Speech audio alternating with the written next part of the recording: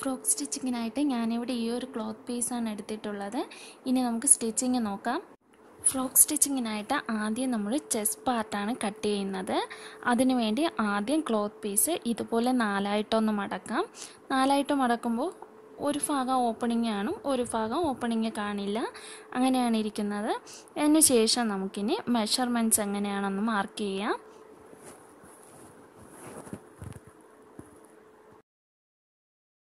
ഫ്രോക്കിന്റെ chest പാർട്ടാണ് first നമ്മൾ cut ചെയ്യുന്നത്. അതിനായിട്ട് ഒൻപത് ഇഞ്ച് ലെങ്താണ് ഞാനിവിടെ മാർക്ക് ചെയ്തിട്ടുള്ളത്.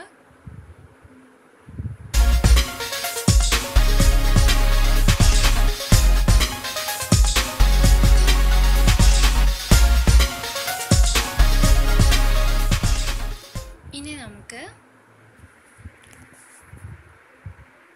ബാക്കി മെഷർമെന്റ്സ് മാർക്ക് ചെയ്യാം.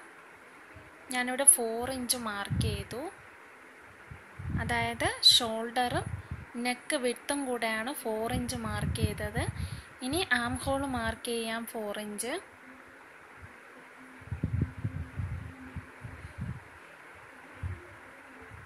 അതിനുശേഷം അതിന്റെ ഷേപ്പ് ഒന്ന് മാർക്ക് ചെയ്യാം.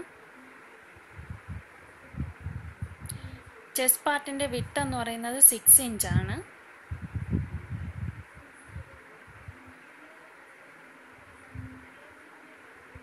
ഇനി നമുക്ക് ചെസ്റ്റിന്റെ ആ താഴ്ഭാഗത്തെ അഞ്ചര ഇഞ്ച് മാർക്ക് ചെയ്യാം. അതായത് ടോട്ടൽ വിട്ട് എന്ന് പറയുന്നത് സിക്സ് ഇഞ്ചാണ് അതിൽ നിന്നും അര ഇഞ്ച് കുറച്ച് അഞ്ചര ഇഞ്ച് താഴെ മാർക്ക് ചെയ്യാം.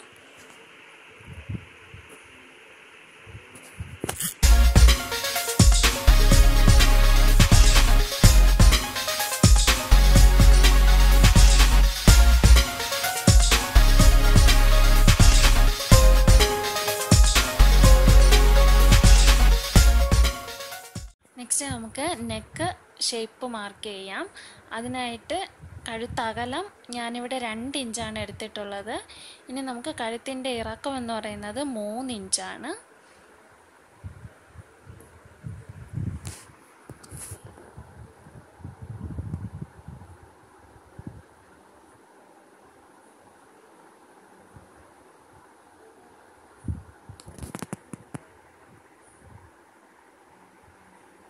ഇനി നമുക്ക് ഇതൊന്ന് കട്ട് ചെയ്തെടുക്കാം.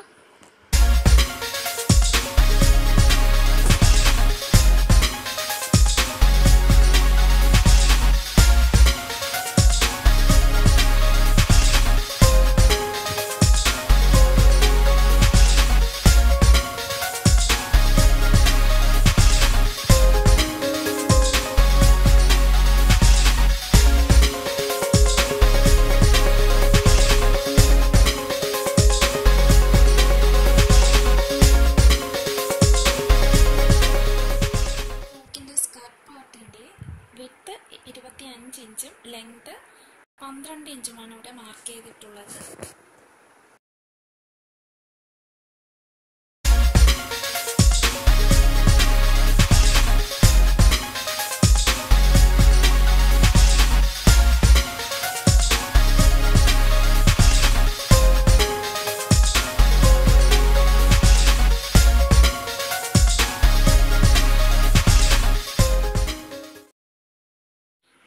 നമുക്ക് ലൈനിങ്ങുമായിട്ട് ചേർത്ത് വെച്ചിട്ട് ചെസ്റ്റ് പാർട്ട് കട്ട് ചെയ്തെടുക്കാം.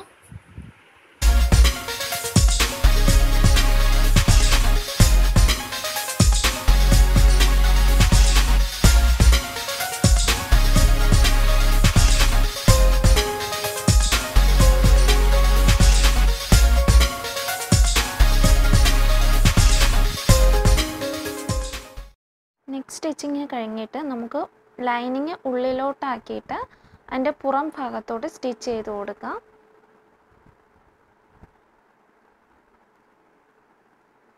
ബാക്ക് പാർട്ടിന്റെ സെന്ററിൽ ഇതുപോലൊരു ഓപ്പണിംഗ് കൊടുക്കാം. അതിനുശേഷം നമുക്ക് സ്റ്റിച്ച് ചെയ്തെടുക്കാം.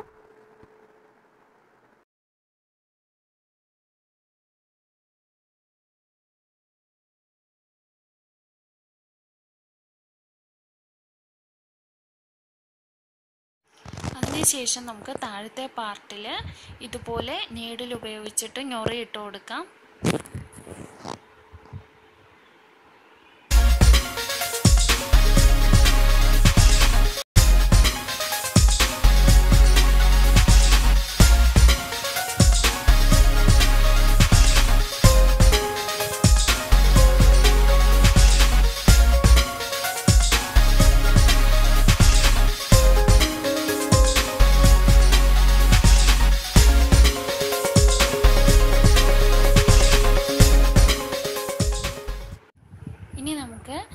ചെസ്റ്റ് പാർട്ടും താഴത്തെ സ്കർട്ട് പാർട്ടും തമ്മിൽ ചേർത്ത് വെച്ചിട്ട് സ്റ്റിച്ച് ചെയ്ത് കൊടുക്കാം.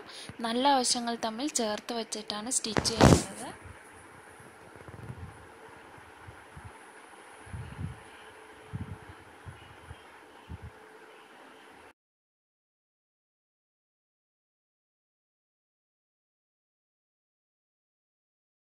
ഇനി നമുക്ക് രണ്ട് പാർട്ടും ചേർത്ത് വെച്ചിട്ട് ഷോൾഡർ സ്റ്റിച്ച് ചെയ്ത് കൊടുക്കാം.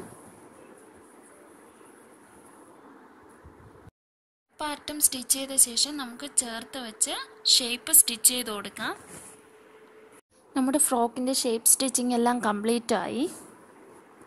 ഇനി നമുക്ക് ഇതേ ഫാബ്രിക്കിൽ തന്നെ ചെയ്ത് ഇതുപോലത്തെ ഫ്ലവർ ഇതിലോട്ടൊന്ന് വെച്ച് കൊടുക്കാം.